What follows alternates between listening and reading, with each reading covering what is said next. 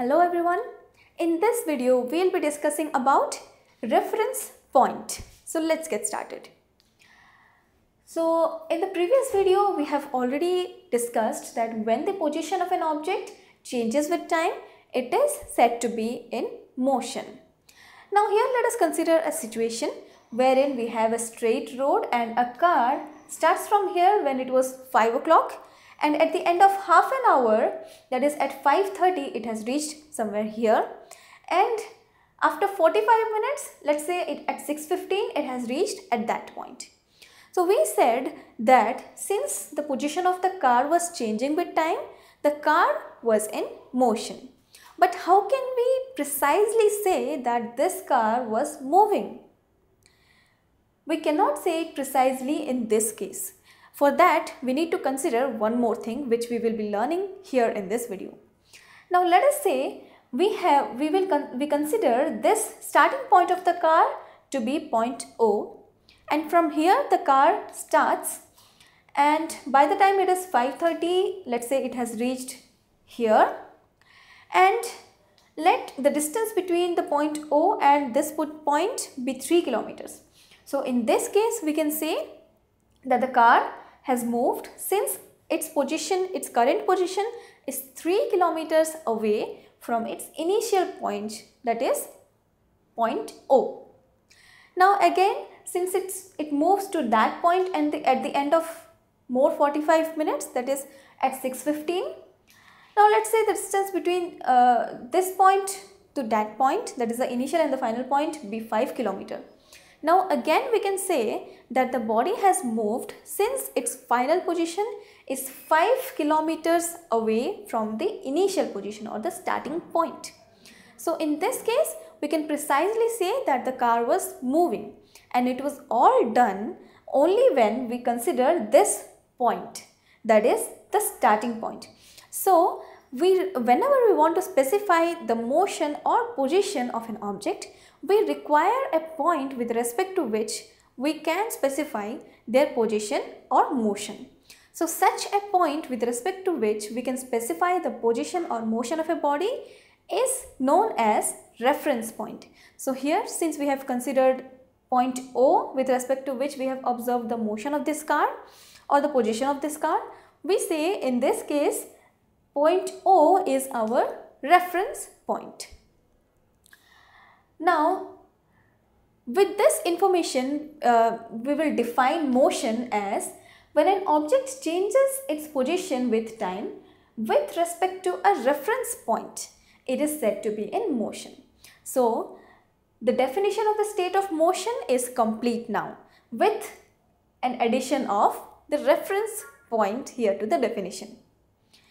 Now, let us say we have four places here that is house, playground, school and petrol pump at these places. Now, we, uh, let's say we want to specify the position of all these four places.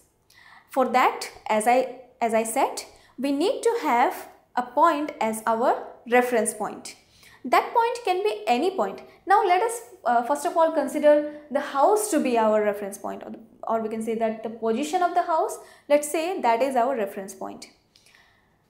Now with respect to this reference point, we can specify the position of all the other three objects. How it is done? Let me tell you. Now we can say that the playground is located 3 kilometers away from the house towards east so that is how we can uh, specify the position of the playground. And similarly, we can also say that the school is located 4.5 kilometers away from the house towards southeast. And in the same way, we can also say that the petrol pump is located towards south 3.5 kilometers away from the house. So this is how we can specify the position of the objects whenever we have a reference point with us.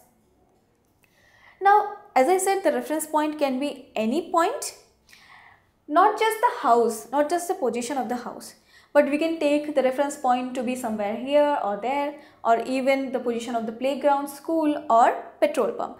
It can be any point. Let's say when we take the playground to be our reference point, what will be the condition? Now suppose we, we will take the playground, the position of the playground to be our reference point here. So in this case, we will have to specify the position of all these other three objects with respect to this reference point. So let's see how it is done. So we can see that the house is located 3 kilometers towards west of the playground and in the same way we can specify the position of the rest of the two places that is the petrol pump is located 4.5 kilometers away from the playground towards southwest and similarly the school is located uh, at a 1.8 kilometers away from the playground towards south. So this is how we can specify the position of an object whenever we consider a reference point. Now let me tell you something more about reference point. Now we consider a reference point, we generally consider a reference point to be a stationary point or uh, a stationary point in the sense a point which is at rest. So such points are generally considered are can be generally considered as reference point. And it is the point from which the change in position of an object can be observed or the change in position of an object is observed. So to understand this statement, let us see a situation. So here there is a straight road and here is a bus which is uh, which has children inside it and here is a boy which is looking who is looking at the bus. Now initially the bus starts coming towards him and then it goes away from him. Now if we consider the position of this boy to be our reference point, we can uh, we, we will say that the bus was moving along with the kids so the kids inside the bus, we will say that they were also moving with the bus. Now, let us see the same situation in a different perspective. That is from the interior of the bus or inside the bus. So when we go inside the bus, let's say we take a seat here and we see the kids inside the bus. Now, let's say we take the position of this kid to be our reference point. Now whenever we take the position, this position to be our reference point, we see from this point that the kids are at rest. They are sitting just near to us. From Now from this perspective, the children inside the bus or the kids inside the bus are not moving but they are sitting in their respective places or we can say that they are at rest. So there are two different perspectives to look at the same situation. Now how this difference has come? It is it has come just because we have taken a different reference point in the second case. So what I'm trying to say is it all depends upon the reference point or the point from which the situation is observed. That it depends upon the reference point that whether an object is at rest or it is in motion. So whenever we change the reference point, the whole scenario may seem to be totally different. So this was all about reference point. I hope this video was understandable to you. Thanks for watching. Tutorialspoint.com Simply easy learning.